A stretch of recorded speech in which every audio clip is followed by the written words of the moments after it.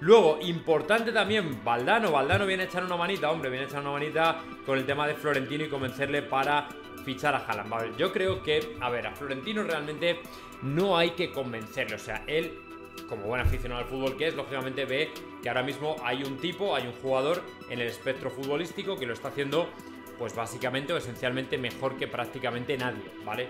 Es un jugador que pasa por encima de los registros de Messi, de Cristiano y de absolutamente todo el mundo, ¿vale? Y le da absolutamente igual todo, o sea, tiene, tiene una voracidad goleadora que es lo nunca visto, ¿no? Y Valdano comentaba que él, ahora mismo, los partidos que ve son los del City por Haaland, ¿vale?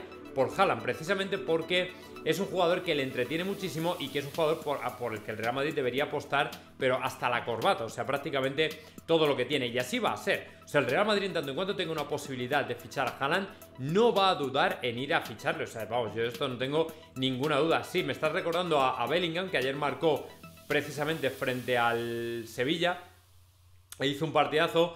Bueno, pues la lista 23-24 de fichajes empieza por ahí. Jude Bellingham por un lado y por supuesto eh, Erling Haaland por otro.